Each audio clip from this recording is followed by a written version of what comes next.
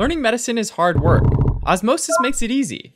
It takes your lectures and notes to create a personalized study plan with exclusive videos, practice questions, and flashcards, and so much more. Try it free today. Klebsiella pneumoniae is a gram-negative, rod-shaped bacteria which belongs to a family of bacteria called the Enterobacteriaceae. Klebsiella pneumoniae can normally colonize the oropharynx and the gastrointestinal tract. It causes various hospital acquired infections, such as pneumonia, hence the name, and is the third most common cause of urinary tract infections. Now, Klebsiella pneumoniae has a thin peptidoglycan layer, so like other gram-negative bacteria, it stains pink. And since it's a bacillus, it looks like a little pink rod under the microscope. Klebsiella pneumoniae is a non-motile, non-spore-forming, and facultative anaerobe. This means it can live even without oxygen, although it grows better in an environment that's aerobic. So, it prefers places like lungs, throat, or respiratory airways, as well as ventilators in the ICU where there is an unlimited flow of oxygen. Alright, now Klebsiella pneumoniae is urease positive, which means it can produce an enzyme called urease that dissociates urea into carbon dioxide and ammonia. This can be tested by transferring a pure sample of bacteria from the culture to a sterile tube containing a mixture of urea agar broth and phenol red. Then the mixture is incubated. So, with Klebsiella urease makes urea dissociate into carbon dioxide and ammonia. Ammonia then makes the mixture change color from orange yellow to bright pink. Finally, Klebsiella pneumoniae grows well with MacConkey agar, which is a medium that contains a pH sensitive dye and lactose. This medium helps identify whether gram negative bacteria are lactose fermenters or not. Some Enterobacteriaceae, like Klebsiella, Enterobacter, and Escherichia coli, can ferment lactose. This results in the production of the acid that makes the pH sensitive dye turn pink, so their colonies will be pink. Klebsiella has an abundant polysaccharide capsule, which leads to the formation of very mucoid and viscous pink colonies. Others, like Salmonella and Shigella, can't ferment lactose, so their colonies will be colorless. Now, Klebsiella pneumoniae has a number of virulence factors that are like assault weaponry that help it attack and destroy the host cells and evade the immune system. First, Klebsiella pneumoniae is encapsulated, which means it's covered by a polysaccharide layer called a capsule. This capsule is a major virulence factor because of its antiphagocytic ability. This means that it protects the bacteria against phagocytosis by macrophages and neutrophils, allowing Klebsiella to escape destruction.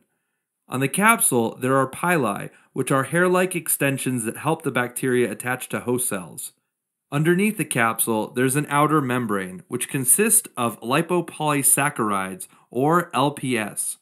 Now, LPS has the ability to avoid complement mediated killing by inhibiting the formation of the membrane attack complex and preventing membrane damage and bacterial cell death. Finally, it needs iron to thrive and replicate, so it produces a siderophore, which is a term used for a group of small, high affinity iron chelating compounds that snatch iron from host cells. In the urinary tract, Klebsiella can also use urease to convert the urea that's normally present in urine to ammonia and carbon dioxide. Ammonia can then combine with hydrogen to form ammonium, which increases urine pH so the urine becomes more alkaline. Alkaline urine promotes the precipitation of phosphate, calcium, and magnesium, this can combine with ammonium to form struvite stones that often form large staghorn renal calculi or kidney stones. Finally, this leads to urinary stasis, which starts a vicious circle promoting bacterial multiplication, urinary alkalinization, and the deposition of new layers of struvite. Now, Klebsiella pneumoniae can cause various hospital acquired infections in people with underlying illnesses like diabetes and in the presence of foreign devices like central venous catheters, endotracheal tubes, or urinary catheters. Classically, in people with diabetes or in those with alcohol dependence, it causes lobar pneumonia. This is associated with formation of lung abscesses due to aspiration of microbes from the oropharynx to the lower respiratory tract. In people with urinary catheters, it causes urinary tract infections or UTIs like cystitis, pyelonephritis, or prostatitis. In people with blood vessel catheters, the bacteria can be inoculated directly into the bloodstream, which leads to a bloodstream infection called bacteremia, and from there it can spread to the heart, causing endocarditis, or to the brain, causing meningitis. Finally, in people with cirrhosis and ascites, it can infect the peritoneal fluid and cause spontaneous bacterial peritonitis. Symptoms depend on the disease. With lobar pneumonia, there is high fever, chest pain, shortness of breath, chills, and a productive cough with blood tinged sputum called red currant jelly sputum. With urinary tract infections, symptoms include dysuria, which is pain or burning sensation during urination, urinary frequency, meaning needing to urinate a lot, and urinary urgency, which means a strong need to urinate. With cystitis, there's also suprapubic pain. With prostatitis, there may be fever and chills and a swollen, tender prostate on palpation. With pyelonephritis, there may be flank pain, fever, and nausea or vomiting. Next, with a bloodstream infection, there may be fever and hypotension and tachycardia. Finally, with spontaneous bacterial peritonitis, there may be fever, chills, and extreme abdominal pain.